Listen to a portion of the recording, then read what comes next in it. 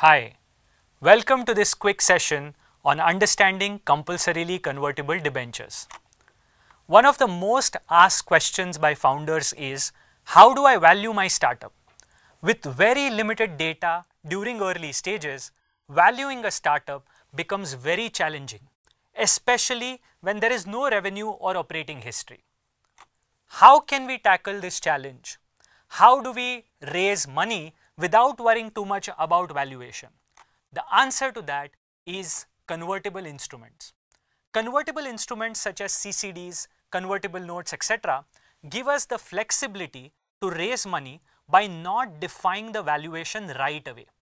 In case of convertible instruments, valuation gets defined based on a future event which typically is the next round of funding.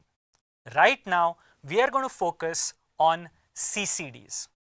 In a CCD structure, the investment comes predominantly in the form of debt or what we call as debenture. This debt gets converted into equity based on future rounds of funding.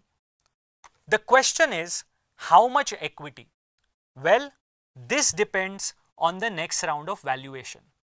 The conversion of debt into equity happens at a certain discount to the next round of valuation that you are going to get.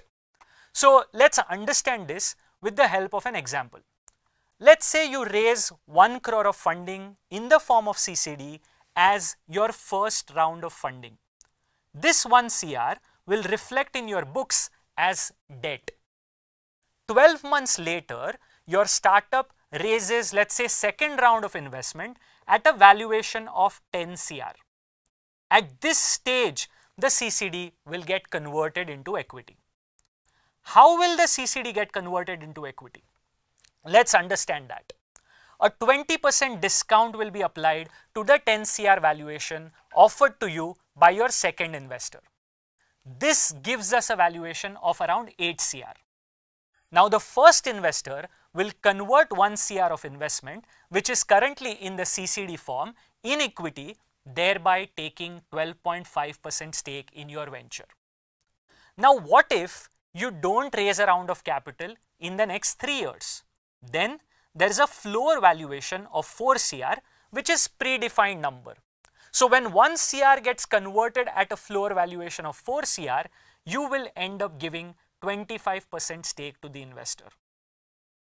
Now let me ask you a quick question.